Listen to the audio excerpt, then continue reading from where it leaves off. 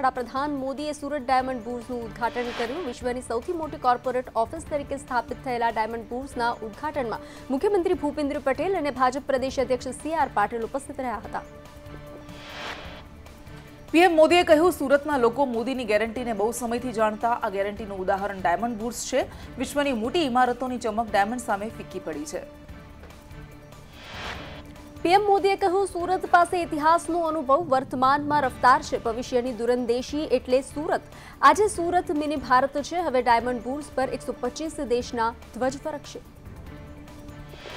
PM મોદીએ વધુમાં કહ્યું, ભારતીય ડિઝાઇનર્સે ભારતીયો દ્વારા તૈયાર કરાયું આ બિલ્ડિંગ ડાયમંડ બુર્સની સાથે સુરતનું ભારતનું નામ આવશે.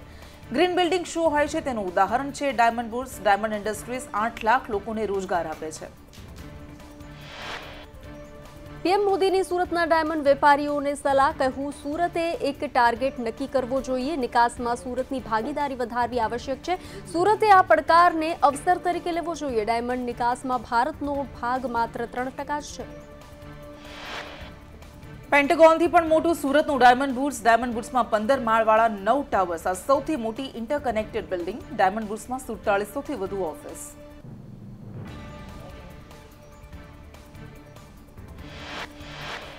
ડાયમંડ બુર્સના ઉદઘાટન વખતે મુખ્યમંત્રી ભૂપેન્દ્ર પટેલનું સંબોધન કહ્યું બેવડી ગતિથી ગુજરાતનો વિકાસ થયો. પીએમ મોદીની આગેવાનીમાં ગુજરાત આગળ વધ્યું. અનેક રાજ્યોમાંથી લોકો સુરતમાં રોજગારી માટે આવે છે.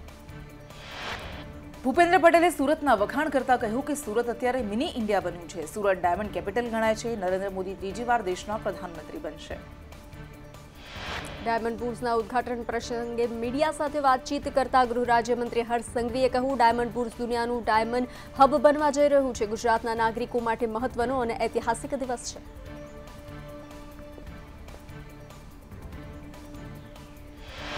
વડાપ્રધાન મોદીએ સુરતના ઇન્ટરનેશનલ એરપોર્ટના નવા ટર્મિનલનું ઉદ્ઘાટન કર્યું. પીએમએ ઇન્ટરનેશનલ ટર્મિનલ કાર્યપદ્ધતિ અંગે વિગતે માહિતી લીધી.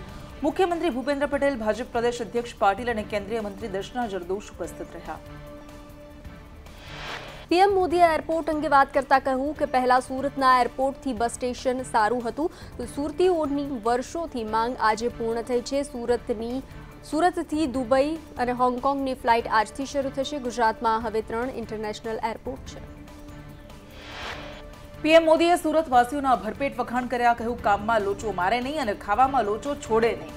ડીંજણ સુધી પાણીમાં પણ ભજીયા ખાવા પહોંચી જાય. નાકા સુધી આંટો ન મારે, પણ વિશ્વ આખું ફરે પીએમ મોદીએ પોતાની વાત કરતા કહ્યું, સુરત શહેર સાથે મારું ખૂબ જ આત્મીય લગાવ છે. સુરત શહેર મને ખૂબ જ શીખવ્યું છે. સુરતની માટીમાં કંઈ ખાસ વાત છે? સુરતીઓના સમર્થ્યનો મુકાબલો કોઈ નથી કરી શકતું.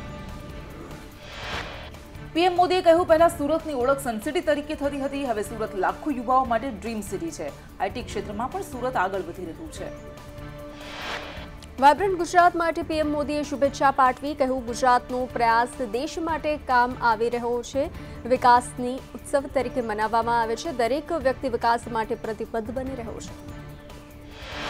સુરત એરપોર્ટને હેરિટેજ ઇમારતનો લુક અપાયો. સુરતમાં આવેલ રાંદેરના જૂના કાચના ઘરોમાંથી પ્રેરણા લેવાય રાંદેર ટાઉનમાં આવી છે હેરિટેજ ઇમારત. સુરત અને ગુજરાતની સંસ્કૃતિ દર્શાવે છે એરપોર્ટ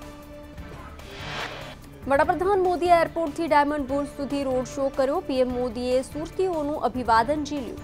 સુરતના રસ્તાઓ પર માનવ મહેરામણ ઉમટ્યું મુખ્યમંત્રીએ કહ્યું, દરેક ક્ષેત્રમાં સરકાર વિકાસ કરી રહી છે, દેશમાં ઇન્ફ્રાસ્ટ્રક્ચરમાં વિકાસ થઈ રહ્યો છે, એર કનેક્ટિવિટી અને રેલ કનેક્ટિવિટી વધી છે. નાના અને મોટા એરપોર્ટની સંખ્યામાં વધારો થયો છે, ઇન્ટરનેશનલ એરપોર્ટથી સુરતને ફાયદો થશે. રાજકોટ હીરાસર એરપોર્ટ બહાર ચારસો પચીસ એસટી બસ ઊભી રહેશે. હીરાસર એરપોર્ટ બહાર એસટી બસને અપાયો સ્ટોપ. અમદાવાદથી રાજકોટની એસટી બસનું એરપોર્ટ બહાર સ્ટોપ પેજ. રાજકોટ એસટી વિભાગ નિયામક દ્વારા લેવાયો નિર્ણય. સાવરકુંડલા એપીએમસી અને વેપારીનો વિવાદ વકર્યો. વેપારીએ લીધેલો માલ યાર્ડની બહાર લઈ જવા મનાઈ. એપીએમસીએ મનાઈ ફરમાવતા વેપારી મંડળે એપીએમસીના ચેરમેનને લેખિતમાં રજૂઆત કરી. નિયમ મુજબ વેપારીનો માલ નથી રોકી શકાતો. હળવદના વોર્ડ નંબર પાંચની ચંદ્રપાર્ક સોસાયટીમાં ગેટ પાસે બિનઅધિકૃત બાંધકામ થતા સોસાયટીના રહીશોનો વિરોધ. બાંધકામ અટકાવવા બે વખત લેખિત રજૂઆત, છતાં કોઈ ઉકેલ નહીં. મંજૂરી મળી ન હોવા છતાં બાંધકામ થતા લોકોમાં રોષ. સુરેન્દ્રનગરમાં ગેરકાયદે પ્રવૃત્તિ કરનાર લીઝને નોટિસ હુમલા બાદ ખાણખનીજ વિભાગ, આકરા પાણીએ. આજથી વાહનોમાં જીપીએસ સિસ્ટમ ફરજિયાત. ગેરકાયદે એંશી લીઝ બંધ કરાશે, ત્રીસ કરોડનો દંડ વસૂલાશે. સુરેન્દ્રનગરમાં ગેરકાયદે પ્રવૃત્તિ કરનારને ખનિજ વિભાગે બસો પચાસ લોકોને આપી નોટિસ. થાનગઢ સાયલા મૂડીમાં ખનન માફિયાઓ બેફામ, ચાર વખત ખાણ ખનીજી ટીમો પર હુમલાના બનાવો. ધોરાજીમાં હોમગાર્ડના એકસઠમાં સ્થાપના દિનને લઈ રક્તદાન કેમ્પ યોજવામાં આવ્યો. રક્તદાન કેમ્પમાં હોમગાર્ડના જવાનો સહિત મોટી સંખ્યામાં આમંત્રિતોએ રક્તદાન કર્યું. સુરેન્દ્રનગર જિલ્લાના દસાડા તાલુકાના કુલકી ઘાસપુર રોડ પાસેથી મોટી માત્રામાં ભારતીય બનાવટનું વિદેશી દારૂ ઝડપાયો. ભૂસાની આડમાં દારૂની હેરાફેરી, ટ્રક વોખડામાં ફસાતા મામલો સામે આવ્યો. અમરેલી જિલ્લાના ખાંભાગીરના ગામડાઓમાં ભૂકંપનો આંચકો, તાતણિયા, પીપળવા, ખડાધારમાં પંથકમાં બે પોઈન્ટ બેની તીવ્રતાનો આંચકો અનુભવાયો. ભુજમાં વધુ એક યુવકનું હાર્ટ એટેકથી મોત. અસલમ નામના ત્રીસ વર્ષીય યુવકનું મોત. ટી સ્ટોલ પર બેઠો હતો અને તે સમયે એટેક આવ્યો ભુજમાં ધોરણ દસના વિદ્યાર્થીનું હાર્ટ એટેકથી મોત. વિદ્યાર્થી ચાલુ પરીક્ષાએ અચાનક ઢળી પડ્યો. સૂર્યા વરસાણી એકેડેમીમાં વિદ્યાર્થીને આવ્યો હાર્ટ એટેક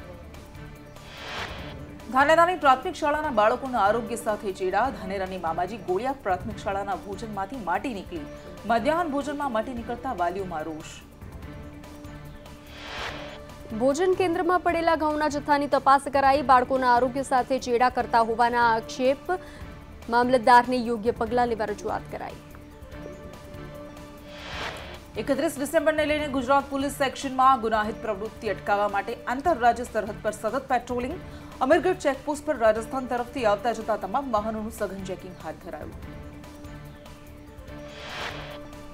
થર્ટી ફર્સ્ટને લઈ લોકોમાં ભારે ઉત્સાહ જોવા મળી રહ્યો છે. વર્ષ બે હજાર ત્રેવીસના છેલ્લા દિવસને માણમાં, માણવા યુવાનોમાં ભારે ઉત્સાહ છે. આ વર્ષે લોકોમાં ગોવા અને રાજસ્થાન હોટ ફેવરિટ ડેસ્ટિનેશન છે.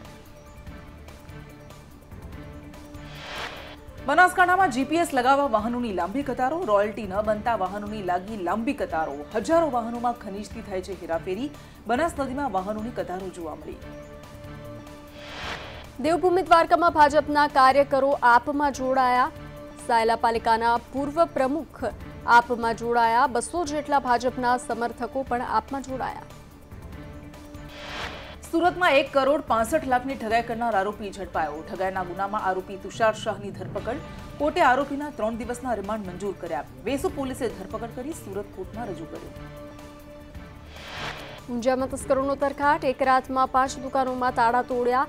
તસ્કર ટોળકીએ બેંક પાસબુક ચેકબુક દુકાનની બહાર ફેંકી દીધી હતી સમગ્ર ઘટનાને લઈ પોલીસે વધુ તપાસ હાથ ધરી ગોધરા સિવિલ હોસ્પિટલમાં જાહેરમાં યુવકને લઈ ટકોર થૂંકવાને લઈ ટકોર કરતા તબીબ પર હુમલો। તબીબને માથાના ભાગે ચાર ટાંકા આવ્યા। એમ્બ્યુલન્સમાં દર્દી સાથે આવેલા શખ્સે હુમલો કર્યો। પોલીસે હુમલો કરનાર શખ્સની કરી ધરપકડ. ખેડા સિરપ કાંડમાં વધુ એક મોટો ઘટસ્ફોટ. સિરપમાં ઇથેનોલ કેમિકલ મિક્સ કરાયાનો ખુલાસો. રાજદીપસિંહ વાળાના રિમાન્ડ દરમિયાન ખુલાસો થયો. પાંચસો લીટર દ્રાવણમાં પચાસ લીટર ઇથેનોલ કેમિકલ ભેળવાયું. પાંચસો લીટર સિરપમાંથી બારસોથી તેરસો બોટલ તૈયાર કરતા મોકમપુરાના આયુર્વેદિક સિરપનું નકલી લેબલ લગાવાતા હતા. યોગેશ સિંધીએ આ બોટલને ગામે ગામ વેચતો હતો. ખેડા આણંદ વડોદરા ગ્રામ્ય વિસ્તારમાં સિરપનું વેચાણ. વડોદરામાં ઇન્સ્ટાગ્રામ પર ફેક આઈડી બનાવીને પૈસા પડાવ્યા, જુદા જુદા કારણ બતાવી પડાવ્યા, બે લાખ ત્યાંશી હજાર રૂપિયા. પ્રિયા નામના આઈડી પરથી અનિકેત અન્ય યુવક સાથે ચેટ કરતો.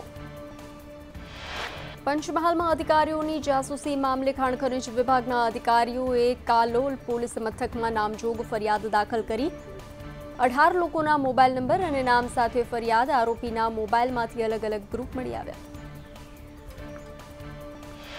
મહારાષ્ટ્રના નાગપુરમાં મોટી દુર્ઘટના. સોલાર એક્સપ્લોઝિવ કંપનીમાં બ્લાસ્ટ થતા નવના મોત. કંપનીના કાસ્ટ બુસ્ટર પ્લાન્ટમાં થયો હતો વિસ્ફોટ.